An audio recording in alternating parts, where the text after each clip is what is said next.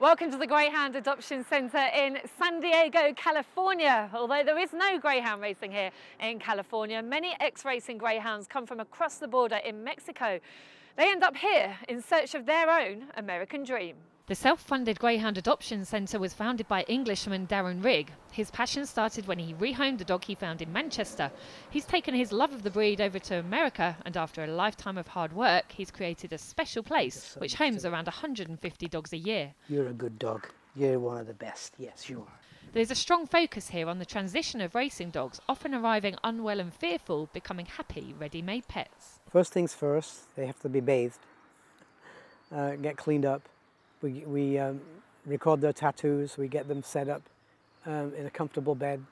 Some dogs, we, we try them out to see if they like our condos better than, our, than the kennel house beds. If there's injuries, of course, those dogs, especially if it's leg injuries or toe injuries, we see a lot of leg injuries. Uh, those dogs are separated from the general population of our facility. Then the next step is veterinary care. Starts off with a full blood panel and a few extra things that we add on the blood panel that are specific to greyhounds. And the fecal analysis to see what they're carrying on the inside so we can treat for specific parasites. And this is all time consuming and very costly, but it's important that we do it because it helps the dogs get better quicker. The longer they're here, the more they acclimate to this wonderful home-like environment, but they don't even know what's coming yet. There's going to be a couch next. so they have no idea. So then the adoption process starts and that's a whole nother process. And the cat testing, dog testing, kid testing. And then eventually they're adopted out to a home. And that's, that's the most special time. Today you were introducing some of your greyhounds to a, a smaller dog called Trixie and uh, it went pretty well. It did. Uh, Trixie's the perfect dog. She knows what we're trying to do because dogs are very savvy. Most of the dogs we tested today had the potential to live with small dogs. And that's a, uh, an interesting aspect because still to this day, many people think that greyhounds are hyper and anything small they will chase. And most greyhounds can live with other dogs if they're properly introduced. So we're looking at her reaction immediately. She sees the, she sees the dog. She's kind of gone stiff and frozen up and her focus is on the little dog. She's never seen a dog like small before. A little bit more interested than I'd like to see but she's got that stiffness, so I'm going to use caution. Good girl, very good. Good girl. That's Trixie's head, yes. So let's do a little bit of an exercise here where we'll try and calm her down a little. So I feel comfortable enough letting her off leash without a muzzle on now.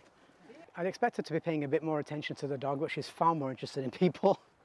Let's go see Trixie one more time. Don't jump on people. If she jumps on you, pretend it hurts. Good girl, very good. So she passed her small dog test today. We do the same with cats. Um, and then, of course, we need to see which greyhounds are happy to be around kids. Um, and sometimes it starts off with a, a kind of a, a, tolerance and they learn that they really like kids because they, can lick their faces and have fun. And sometimes it starts off with a dog that's a little fearful of kids. What's the worst thing that could happen? The man will pick you up and kiss you. But we work with those dogs. We evaluate them with slippery floors, steep staircases, hollow staircases, uh, riding in cars, riding in vans. Basically socialization, get them used to the, the world out there.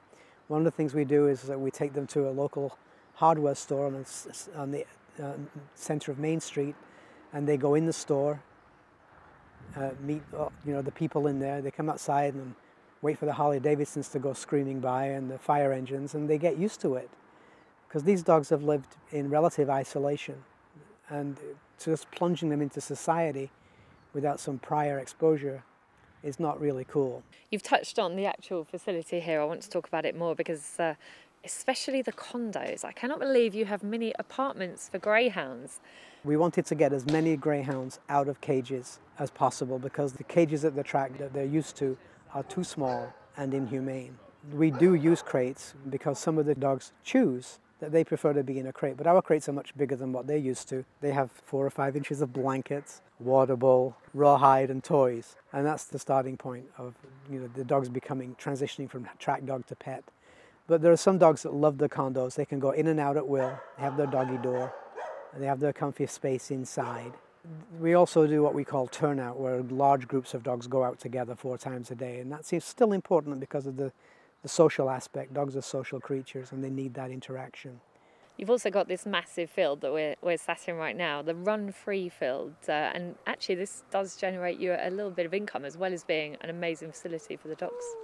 I call it my little piece of England because it's green and it stays green year round.